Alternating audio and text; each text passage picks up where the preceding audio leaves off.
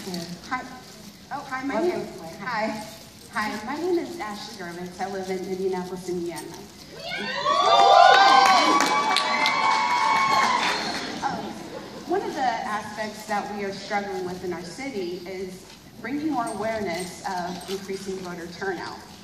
There's been many times where we're knocking on doors, making phone calls, and there's so much discouragement about their voice not being heard.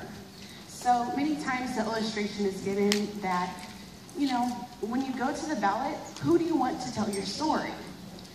That has been very transformational to get more people involved. But from your aspect, as far as being leaders, as far as uh, the media messengers, when you're behind closed doors and you're looking to cover the next story, you're making the decision who's going to write this piece? Who do you want telling that story?